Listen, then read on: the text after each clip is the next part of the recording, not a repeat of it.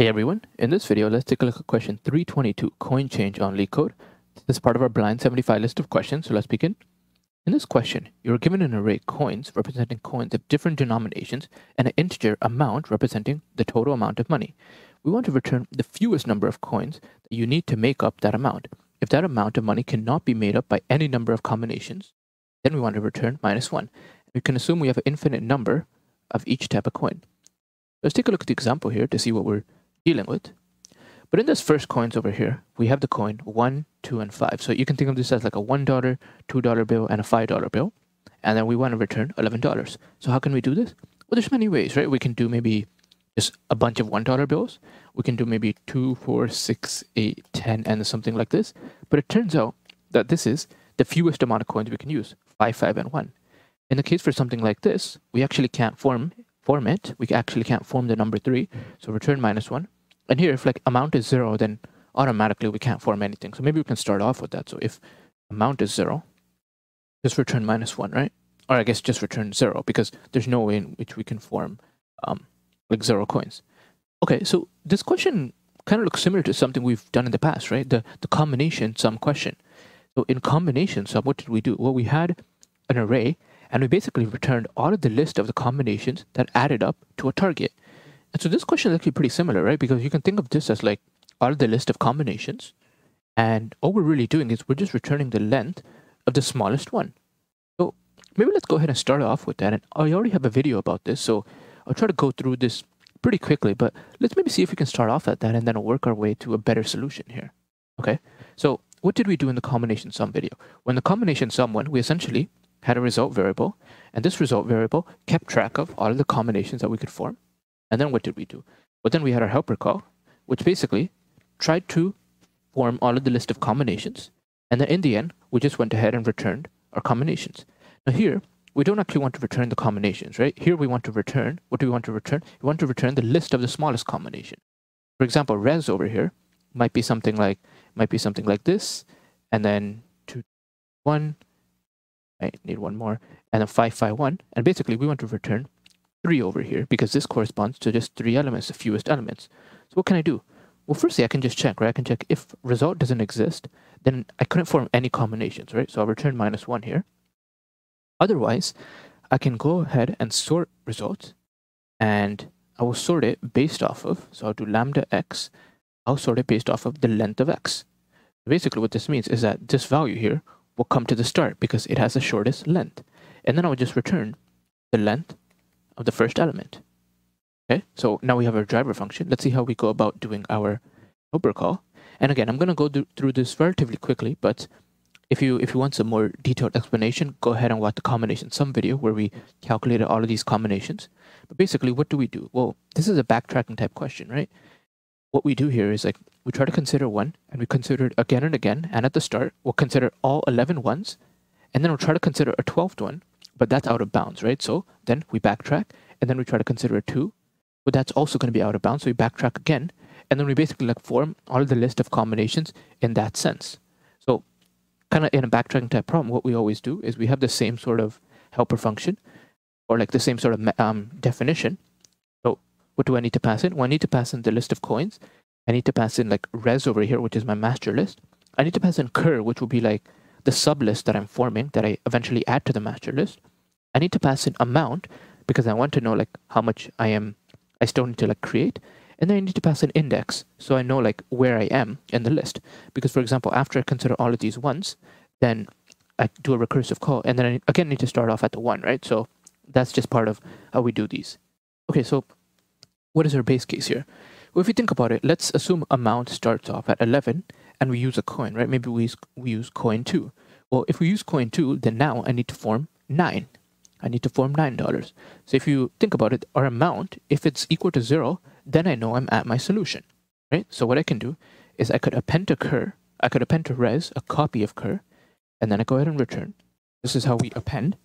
And now what do we do? Well, now, if this isn't, if this is not the case, I want to look through my list of coins.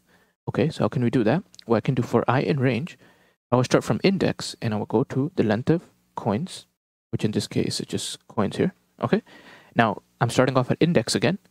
actually in this question, even when we do a recursive call, we'll still actually just go back to the front. So we don't really need to start off. We don't really need to pass in index here, but this is how I like to do my questions because the, the format stays the same. Okay, so now if we want to consider coin i, how can we even know whether we're, we're valid or not, right? Well, coin i, it has to be less than amount, right? Less than or equal to amount. So we can do something like if amount minus coins at i, if this is greater than or equal to zero, then we can consider this coin. Otherwise we can't, right? Because it's as if like amount is equal to two and we're considering the coin five. Well, this doesn't work, right? So we want it to be greater or equal to zero. Okay, so if it is if it is this case, then we can consider this coin, right? We can add it to our combination. So we'll do cur.append coins at i, then I do my recursive call, and then I go ahead and pop it at the very end. And this is always how we do our backtracking type question. So take a look at the combination sum question if you want some more detail on this one. But essentially, we go ahead and we add in all of the ones, and then once we reach, like, once we are out of bounds, basically, or once we add in more than, um, well, I guess we won't add in more than we need, but basically when we when we return from the one call, we'll have 10 ones, right? And so then, because we pop the 11th one, so then we'll have 10 ones, and then we'll try to add in the 2. Well, we can't add in the 2, so try to add in the 5. We can't do that either. So then again, we'll go back, and then now we'll have nine ones because we go ahead and pop. And then we'll try to add in the 2. And so then we can form a combination in that sense. Anyways, that's just like the highlight of how we do these questions. So what do I have in the helper call? Well, coin, res, cur, amount has to be amount minus coins at i, right? Because we're finding, we want to find a lower amount now, and the index remains at zero. And so that's pretty much all there is. So let's go ahead and do coins, res, cur, which is an empty list. Amount remains the same. Index, we start off at zero. So let's go ahead and run this to see if we arrive at the solution. And we do. So let's go ahead and submit. So obviously we're doing much more work here than needed, but I think it's like a good starting point because it allows us to transition our problem into a better one. Okay, so we get memory memory limit exceeded. So if you if you think about like why that's happening, right? Like we're creating a lot of memory limit. Basically means either you're doing too many recursive calls or your um like your your set or your list is becoming too large. So if you really think about this, like we don't really need to form like cur, right? Because we're not interested in the combinations themselves. We're just interested in the smallest amount of coins used. If you think about this, we can actually improve this. What, what can we do? Well, maybe we can do something like we, we just record like the amount of coins that we've actually used. So maybe here I can do something like uh, coins used, right? Coins used, something like this. Coins used. And so I can actually go ahead and remove cur. So let me go ahead and remove cur. I'll clean this function up quite a bit. So I'll remove cur here. I'll remove cur here. I'll remove cur here. I'll remove it here. Now what do we need to do? Well, now coins used, we need to increment this by one. So actually here, we need to say we've used zero coins at the start. And now if amount is zero, then I just want to return coins used. Okay, so we're almost at our solution. Now, what can I do at the start, right? So if you think about it, I actually don't need res here at all. So I will also remove res. Let me go ahead and remove res from this. Okay, so if my amount is zero, then I'll just go ahead and return the coins used, right?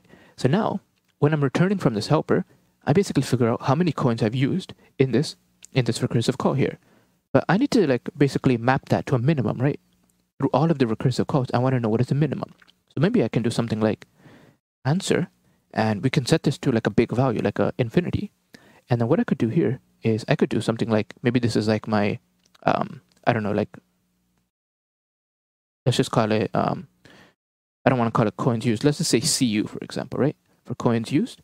And then what I could do is I could do answer is equal to minimum of CU and and what and answer, right? So that's going to be my answer.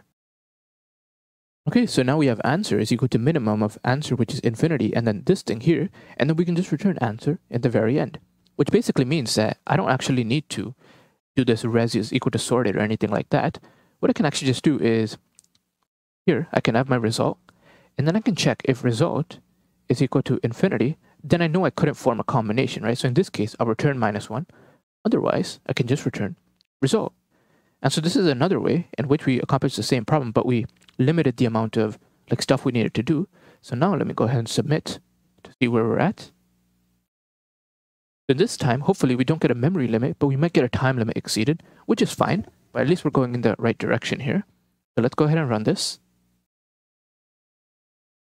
We get a time limit. Okay, perfect. So we know how to fix that, right? Whenever we're doing a recursive call, we can memoize our solutions to basically make it go faster. So how can I do that? Well, I need to pass in, pass in a dictionary here, and these two will be my memo.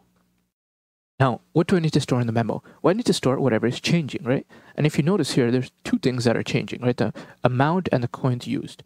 So what I could do here is I could do memo at amount and coins used. This is equal to my answer, and I just return that answer in the very end. And then in my memoization call, I can just check if amount coin used is in memo, then I just return memo at this information here. So now if we go ahead and run our test cases, it runs. Let's go ahead and submit.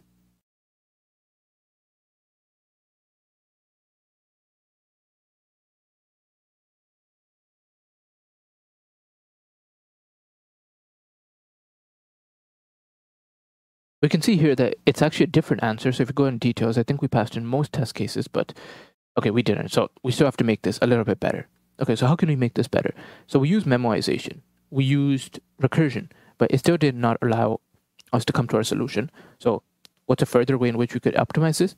Well, we would have to use dynamic programming. So let's take a look at how we can use dynamic programming to arrive at the solution. So now let's talk about a dynamic programming solution, which is going to be our best solution here. So how can we go about doing that?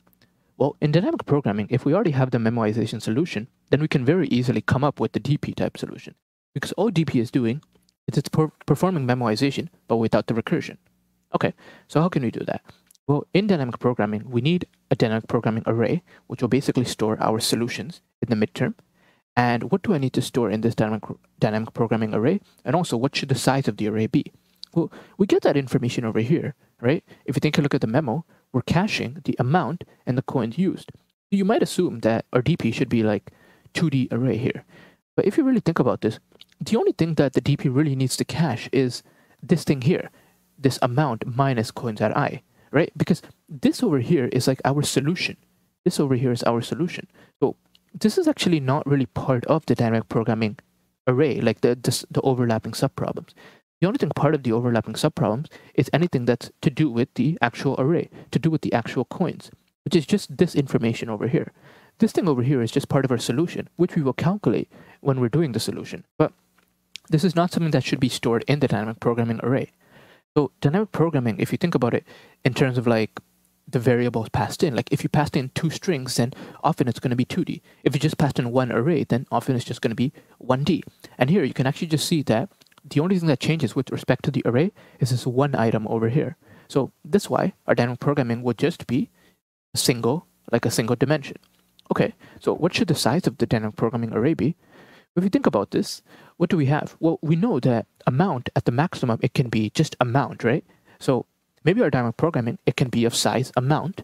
And then notice how it will, all, it will go all the way to size zero. So what can we do? Well, let's just go ahead and figure out what we want here. So we can do like something like amount plus one. What do I want to put in here? Well, what would this be encoding? This will be encoding all of the like the minimum amount of ways in which I can form a specific amount. So this DP array will encode the minimum way I can form amount 0, amount 1, 2, all the way to 11. So if you think about this, like because I'm taking the minimum, it wouldn't make sense to put 0 here because then this value here would never change. So maybe we can start off this as like a like a big number, right? Let's just start it off at like float infinity.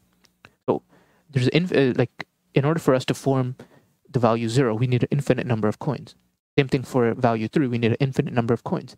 And so then, like, when we're actually doing our dynamic programming solution, we will decrease it to the actual value we want it to be. Okay, so that's all good. Now, why do I have amount plus one here?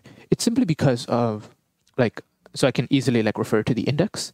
That's pretty much it. And also because like I will have a like so I, in the end I can just do like dp amount right to return my solution. Also like I might if, if we do something like this, we might arrive at like the value zero here. So it would be very convenient to have dp at zero actually refer to like zero, like zero amount, and dp at 11 actually refer to as 11 amount and not like the amount of 10. So that's that's just the reason I'm doing this here. Okay, so we have this. Now what do we need to do? Well, we have to fill in our base condition, right? So we actually have our base condition here. If amount is zero, then the output should be zero. So in that case, if dp of zero is given, then we form zero. So basically, the minimum way in which I can form amount zero is just zero, right? I don't need any coins. I don't need any, so minimum coins I can form. Okay, so we have this. Now what do we need to do? Now we just go ahead and copy what we have over here. Now we just go ahead and copy what we have over here.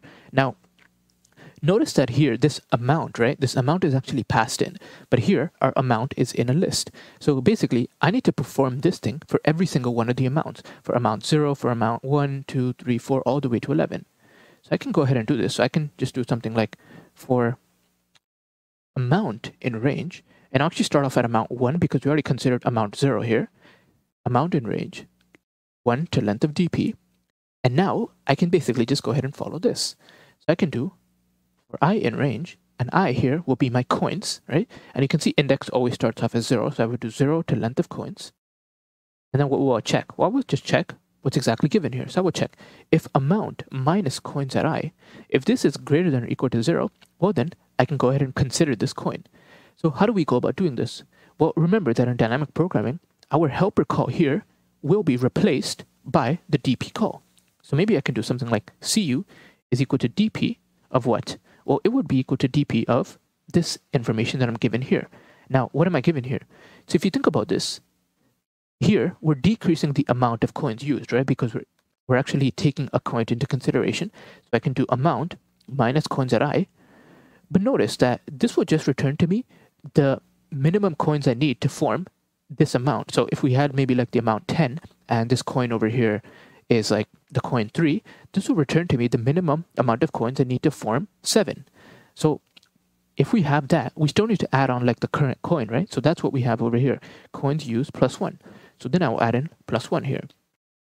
Otherwise, if, the, if, we, if we already calculate this one, I still need to calculate my overall answer, right? So my overall answer is just this. Now, what is my answer? My answer is just what's in dynamic programming of amount. So I can do dp at amount is equal to minimum of essentially the CU here and dp at amount. And so this is my solution in dynamic programming. Now what do I return at the end? Well, I can return essentially dp at amount, but we need to be careful that this is not infinity, right? Because if this is infinity, then we return minus one. So we can actually just check. So we can check if dp at amount is equal to float infinity, then we just return minus one. Otherwise, we return dp at amount. And that's basically it. So let's go ahead and run our test cases here to see if we arrive at the solution. So we do, let's go ahead and submit it. And perfect, we arrive at the solution. So this is actually the best solution, even though it's a little bit slower here, but it is still the best solution here. So this is how we went from a recursive approach all the way to a dynamic programming approach. What is the time here? Well, it would just be like the amount times the number of coins. So it looks like that is the time complexity. And the space complexity is just the total amount as we're just storing that in the DP array. Okay, thanks for watching.